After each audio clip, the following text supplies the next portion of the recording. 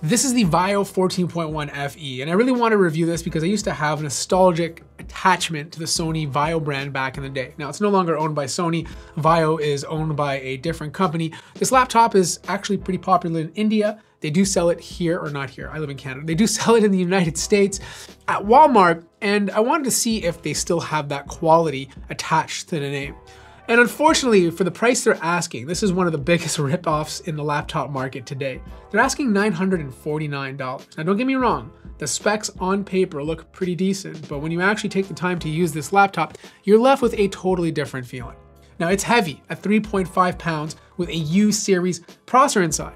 That's too big for a laptop like this. Like don't get me wrong, it feels solid in the hands, but I don't know if this is metal or not. It might be some sort of really thin magnesium alloy, but it does feel very, very cheap. There's a bit of lid flex at the top. I think this pink color is very gaudy and ugly. The good thing though is it does have a lot of ports with an HDMI port, RJ45, two USB-A ports, Type-C, not even Thunderbolt on the right-hand side. And then on the left, you have your power connector, USB-A, SD card slot, and then of course, your headphone jack. Now, the laptop runs and functions fine. Like you can open it up with one hand. You have kind of like the ergo hinge that Asus does. This thing kind of does the same thing by lifting the keyboard deck up in the air for better cooling.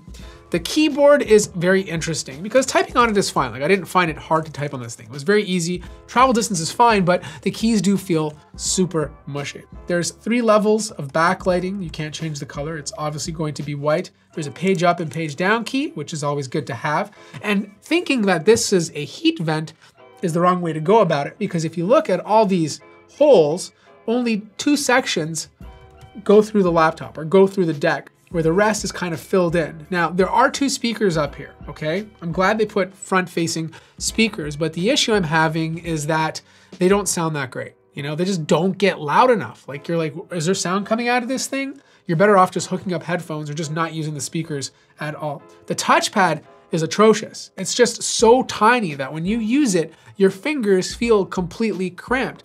And touching down or pressing down rather on this is very inaccurate. It requires a lot of force. You're just better off using the bottom buttons the entire time. It has a fingerprint scanner and it also has a webcam. This is a very terrible webcam, but at least it has one. And there's a kill switch if you wanna block privacy or if you wanna block anybody from hacking your computer and staring at you. The bezels are chunky, the display is 1080p, it's 60 hertz. The color gamut is so bad, you wouldn't, I wouldn't trust this to edit any photos in Photoshop. The brightness is so low that you're just better off closing your eyes and picturing what you want to see on the display than actually looking at this thing. You bring this outside and all you're gonna see is black. it's just not worth it, okay?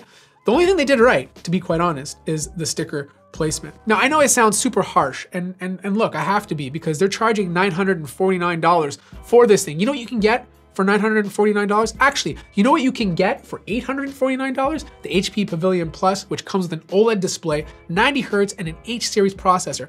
I can't believe they're charging close to $1,000 for this thing. This is a $600 laptop at the most, and they're they're putting it in a premium or sorry, mid-range sector. It just doesn't make sense to me. Okay, you want to talk about performance? Fine, I'm gonna do it. I don't really care at this point. I'm done. I can shut the video off and have a great day. But I'm gonna talk about it for you because maybe there is one dude out there that really wants this. Okay, and if you are, this i7-1255U processor is Intel's 12th gen U series. It's very similar to last year's 11th gen series. It's a little bit faster, which is good, a little bit, not by much. Slightly faster single core clock speeds, but the multi-core speeds are really not an upgrade. You're better off buying a P series or an H series from Intel. I wouldn't buy this to edit any videos on it because the Iris Xe is starting to show its age.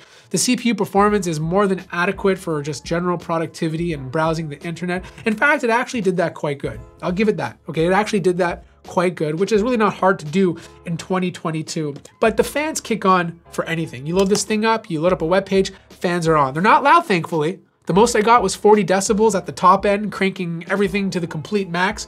But 40 decibels is where it will end, and it keeps the CPU quite cool the entire time. It just power throttles in order to do that. Just know that I really don't want to open up this laptop at this point. I've made up my mind, but I feel like there's a lot of pressure from you right now to ask me to open this up. So I'm gonna do it just for you.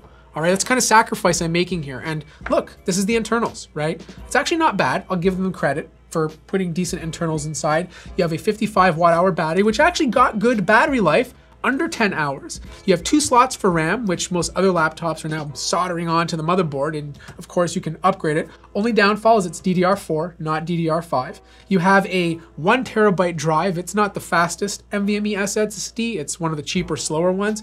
And the Wi-Fi card is actually Wi-Fi 6, so that's good.